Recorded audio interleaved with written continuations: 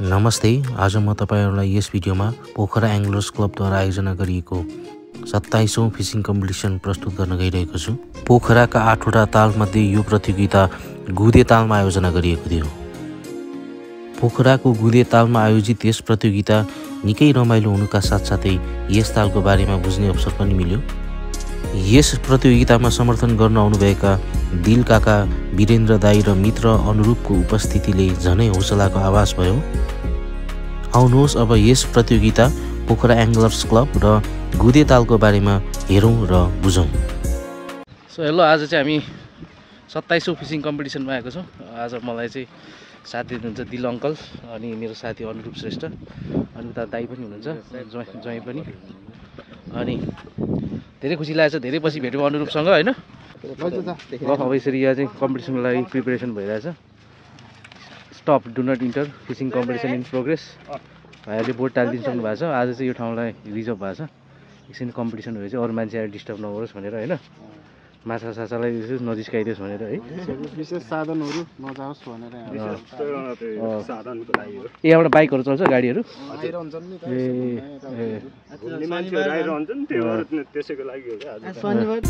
यस fishing प्रतियोगिताको नियमअनुसार एकजनाले दुईवटा फिसिङ रडको मात्र प्रयोग गर्न पाइन्छ। माछा पक्रने क्रममा कसैको मद्दत लिन पाइँदैन। यदि कसैको मद्दत लिएमा डिस्क्वालिफाइड भइन्छ।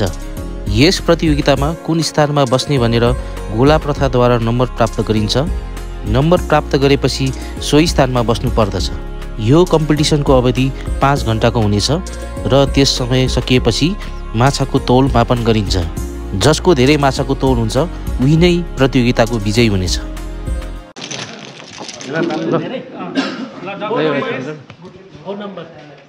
Four number. एकदम फर्स्ट क्लास टाढा रहेछ। लानिहाल्नु न सँगै माग्न पर्ला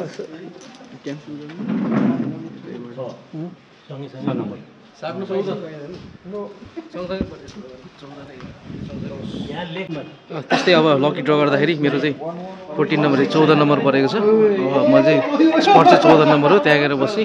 त्यहाँ बाहेक अरू स्पटमा बस्न पाइँदैन त्यो बसेर डिस्क्वालिफाइड भइन्छ। सत्ताइसौँ फिसिङ प्रतियोगितामा जम्मा चौधजना सहभागीहरू थिए र ती प्रतियोगीहरूमध्ये प्रमेश ज्वाइँ र म काठमाडौँबाट सहभागी हुन गएका थियौँ। एघारजना पोखराबाट हुनुहुन्थ्यो र एकजना विदेशी प्रतियोगी क्यानाडाबाट आउनुभएको थियो। गोला प्रथाबाट मेरो स्थान चौध नम्बर प्राप्त भयो भने प्रमेश ज्वाइँले एघार नम्बर स्थान प्राप्त गर्नुभयो। एकछिन अब अनि अब सुरु गर्नुपर्छ।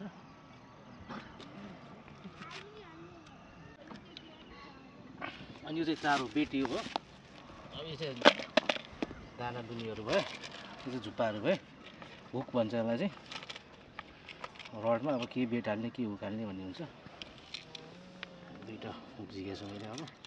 र एक तालमा दुइटा मात्रै रड हाल्नु पाइन्छ धेरै रड हाल्नु पाइँदैन ओके अब हाम्रो यहाँ प्रशान्त साथीले कम्पिटिसन सुरु भइसकेको अवस्थामा अब यो के भन्छ यसलाई? रड हुक हान्न लगाइरहेको छ।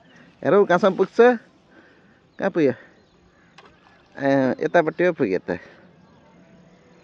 नजिकै हान्ने धेरै पर हान्यो भने पनि। एउटा नजिक हान्नुपर्छ एउटा टाढा हान्नुपर्छ मेरो चौध नम्बर हजुर ज्वाइँको चाहिँ एघार नम्बर यहाँ हुनुहुन्छ हामी चाहिँ दर्शक। दर्शक चियर लिडर चियर लिडर ल कति दुःख छ ल हेर्नुहोस् न, माछा परे पनि अब अरूले हेल्प गर्नु पाइँदैन आफ्नो लुगा सबै खोलेर अब भिज्नलाई तयार भइसकेको छ भन्नु पर्यो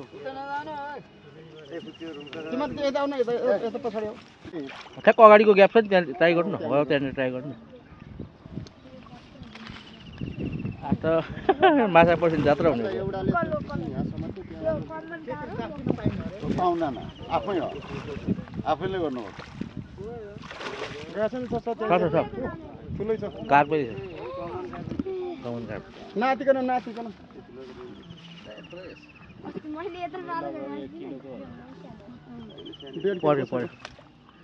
बोल डन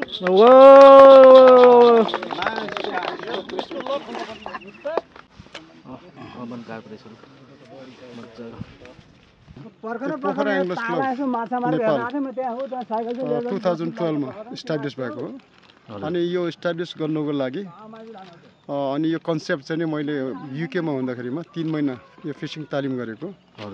त्यो तालिम गर्दाखेरिमा चाहिँ नि यो कन्सेप्ट चाहिँ मेरोमा आएको र अनि पछि यहाँ त्यो बेलामा माओवादीकोले गर्दाखेरि त्यो खोल्न सकेन।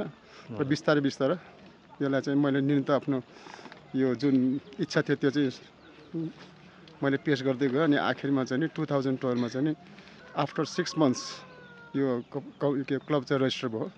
र अहिले चाहिँ नि एघार वर्ष भयो अहिले हामीले क्लब सञ्चालन गरेको। र यसमा अहिले हामी बयालिसजना सदस्यहरू आबद्ध छ जसमा पाँचजना चाहिँ नि विदेशीहरू युकेको र क्यानाडाको छ। हजुर। अनि दुईजना तपाईँहरू काठमाडौँको। हजुर। अनि अरूहरू चाहिँ यहीँ पोखरा भ्यालीको तिरको छ। यो सानो एउटा सानो एउटा क्लबबाट चाहिँ यत्रो चाहिँ यो बयालिसजनाको सदस्य भएको अलिक ठुलो क्लबमा र यो भनौँ न तपाईँको एघार बाह्र वर्षको सङ्घर्षमा हजुरले भोग्नु भएको केही दुःखहरूको बारेमा बताइदिनु सक्नुहुन्छ? त्यो त अब भन्नै सक्दैन। अब त्यो त्यो भनेर साध्य छैन। जे यो क्लब दर्ता गर्दाखेरिमा जाम- हाम्रो जुन विधान छ पक्का विधान लेखेको।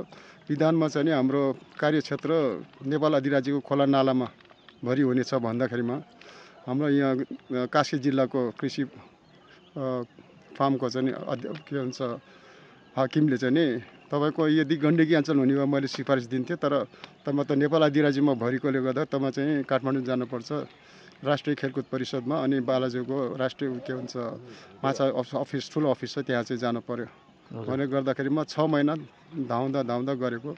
गर्दा सुरुमा त धेरै जे कुरा पनि दुःख अनि यो चाहिँ पहिला सुरुमा यो नयाँ खेल भएकोले गर्दाखेरि खास मेरो उद्देश्य फिसिङ पनि एउटा स्पोर्ट्स हो भनेर चाहिँ मेरो उद्देश्यले चाहिँ लिएको। अनि उहाँ राष्ट्रिय खेलकुद परिषदमा जाँदाखेरिमा त्यहाँको हकिमहरूले चाहिँ नि गुरुङजी यो फिसिङ पनि स्पोर्ट्स हुन्छ। भन्ने कुराहरू गर्दाखेरि मैले चाहिँ हजुर यस्तै हुन्छ भनेर त्यहाँदेखि मै मसँग फेरि फिसिङ म्यागजिनहरू लिएर गएको। त्यो पुरा देखाएँ। अनि त्यहाँदेखि ल त्यसो भए गुरुङजी तपाईँलाई चाहिँ हामीले रिकमेन्ड हुने कि तपाईँलाई मान सम्मान गर्नुपर्छ। मैले भने मलाई मान सम्मान चाहिँदैन हजुर। मलाई चाहिँ जस्ट सिफारिस दिनुहोस्। हजुर। त्यो अनुसारको चाहिँ बल्ल गऱ्यो। अनि यहाँ सुरु फेरि यहाँ आएपछि फेरि साथीहरूलाई बटुल्दा बटुल्दा बटुल्दा कतिजनालाई फकायो अनि कतिजना त सुरुमा भर्ती जोइन भयो तर उनीहरू चाहिँ फेरि यहाँ आउँदै आएन। तर अहिले चाहिँ अब बयालिसजना चाहिँ नेम लिस्टमा चाहिँ बयालिसजना छ। र अहिलेको हालमा चाहिँ सबै सक्रिय छ साथीहरू।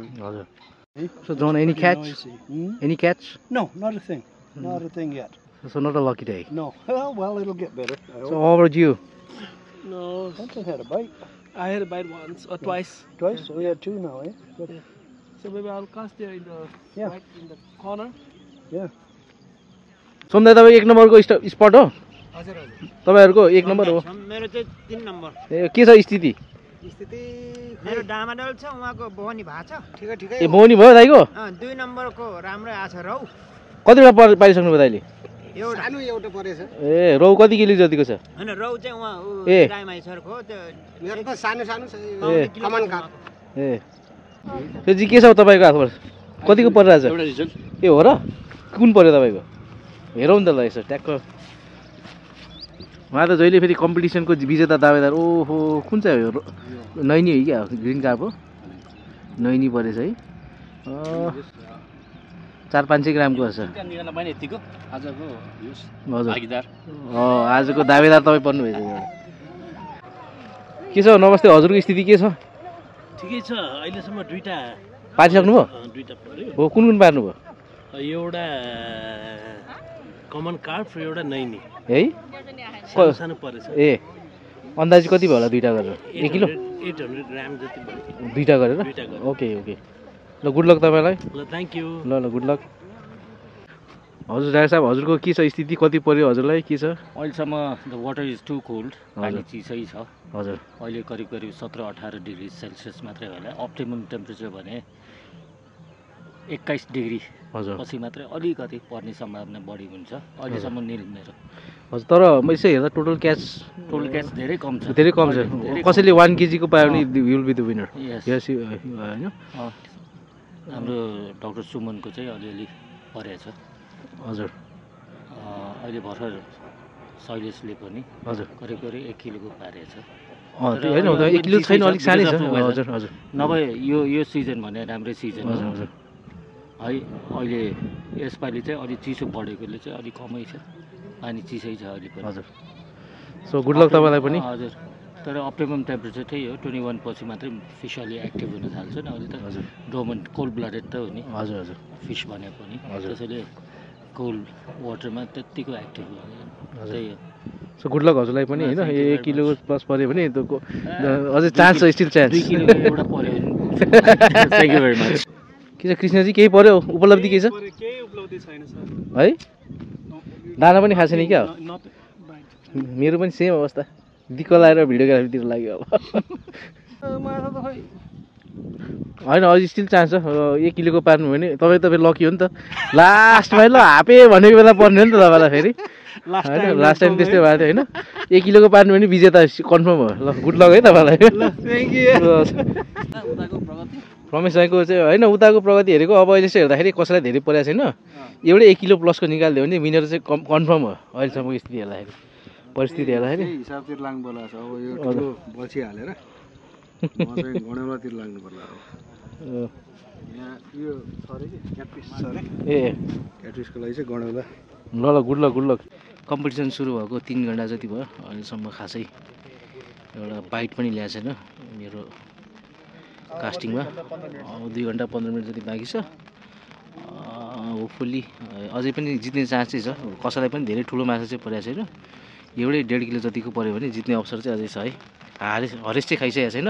हार पनि मानिसकेको छैन। लेट सोप के होला अन्तिमसम्म। तर अहिले अब वेदरले चाहिँ हल्का दुःख दिन थालेको छ हल्का पानी पर्न थालेको छ सिमसिम होइन? हेरौँ के हुन्छ। हजुर दाइलाई हजुरको शुभ नाम के हो दाइ? मेरो विचित्रनाथ ढुङ्गामा। हजुर। मेरो घर यहीँ पोखरा छब्बिस। हजुर। यहीँ नजिकै हो। हजुर। म यो गुन्दे ताल संरक्षण समितिको सचिव हो। हजुर। अनि यो तालको बारेमा यसको केही भनिदिनु दाइ यसको के छ इतिहास के रहेछ यो ठाउँको होइन? यो यसको नामाकरण गुँदे भनेर रहनको कारण यो तालमा गुँद पाइन्थ्यो। अहिले पनि पाइन्छ यो उपल्लो बेल्टमा। हजुर। गुँद अहिले पनि छ। त्यो गुँद निकालेर लगेर गुन्द्री बन्ने चलन छ। हजुर। त्यो अहिले पनि छ। हजुर। अनि यो पहिला जम्मै जालो थियो। छैसठी सालमा यो बाँध बाँध्न सुरु भयो। हजुर। अनि बिस्तारै अहिले रेखाङ्कनको काम सिद्धिया हो। हजुर। सामान्य बाँध छ अब यसलाई व्यवस्थित गर्नलाई बाँकी छ। हजुर। यो फेरि कस्तो छ भने आधी जग्गा ताल छ आधी पर्ती छ। ए। यतापट्टिको ताल छ यतापट्टिको जग्गा पर्ती छ। त्यो पहिला के कसरी पर्ती रह्यो त्यो थाहा भएन। पुरै ताल भनेर पनि छैन। यो एक सय असी रोपनी छ अहिले। ए। प्रतिसहित गरेर। हजुर प्रतिशत गरेर एक सय असी रोपनी छ। हजुर। यो अब व्यक्तिसँगको यो अतिक्रमण भयो है व्यक्तिहरूले अतिक्रमण गरे छैन हजुर। जस्तै यो बाँध व्यक्तिकै जग्गामा हो। हजुर। यो बाँध बाँध्दा हिलोमा बाँध्दा अलि हुनुभयो हुनाले व्यक्तिसँग कोअर्डिनेसन गरेर यो व्यक्तिकै जग्गामा यो तल्लो साइडको बाँध व्यक्तिकै जग्गामा छ माथिपट्टि भने त्यो यो बेल्टमा बाँध्नै परेन। उता हजुर। हजुर यतापट्टि यो भर्खर भर्खर सुरु उम्, अब यो संरक्षण समितिसँग आफ्नो फन्ड छैन। हजुर। अब विभिन्न सङ्घ संस्था हरियो वन एक्याप राष्ट्रिय ताल बोर्ड अब नगरपालिकाले? नगरपालिकाले नै थोरै दिन्छ अनि जिल्ला वन कार्यालयले नि कहिलेकाहीँ थोरै सहयोग गर्छ। यसरी नै सामान्य स्रोतबाट काम गर्दै गएर अहिले यत्तिको भएको छ नत्र यहाँनिर अलिकति पानी मात्रै थियो अरू सबै जाल थियो यो। यस्तै जालोले भरिएको थियो। हजुर। अहिले जालो लगभग माथिबाट हेर्दा नि तिन भागको एक भाग पानी छ दुई भाग अझै जालो छ। हजुर हजुर यो एउटा यो जालो सफा घाँस कार्पले नि गर्दो रहेछ। हजुर। घाँस कार्प धेरै नै छोडिएको छ। घाँस कार्पले नि गरेको छ र अनि यो हामीले प्रधानमन्त्री स्वरोजगार कार्यक्रमको केही उम्, वडाबाट ल्याएर पनि काम गरेका थियौँ। हजुर। सो अब कम्पिटिसन लगभग सकिन आँटेको छ। अन्ली दस पन्ध्र मिनट मात्रै बाँकी छ। मेरो त केही पनि परेन। आज मेरो मात्रै नै म्याक्सिममको केही पनि परेन। सो विनरहरूको पनि एक दुईवटा क्यास मात्रै होला त्योभन्दा बेसी छैन।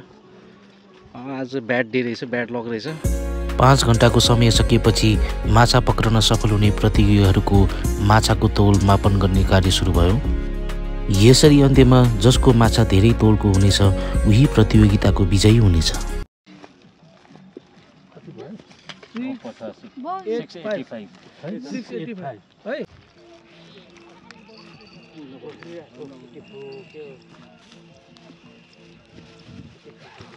यो चाहिँ रिलिज गरिदिनुहुन्छ उहाँले। पाँच सय ग्रामभन्दा सानो भएको भएर माछाहरू छोडिदिँदै हुनुपर्छ। बढ्छ नि त भित्र यही बढेर कति ठुलो हुन्छ?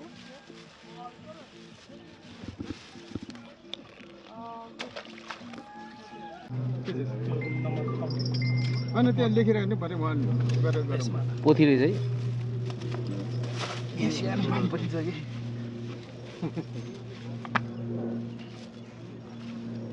यो भान्जा लक्की छ है फेरि। त्यो यो बामले पनि पर्छ कि फेरि। अनि एकचोटि एकचोटि त्यसलाई झिकेर एकपल्ट त्यसलाई झिकेर एकपल्ट झिकिदिनु। सेकेन्ड फर्स्टमा फिगर गुड हुँदो रहेछ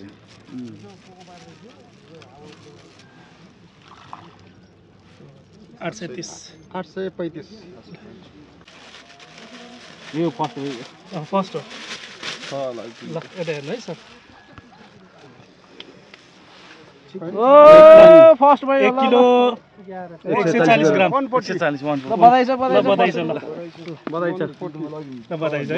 आजको यस सत्ताइसौँ पोखरा एङ्गलर्स क्लबले क- आयोजना गरेको कम्पिटिसनको विजय हुनुभयो। कस्तो अनुभव भएको छ? हजुरलाई धेरै धेरै धन्यवाद। होइन? थ्याङ्क यू सो मच अब के भन्नु? अब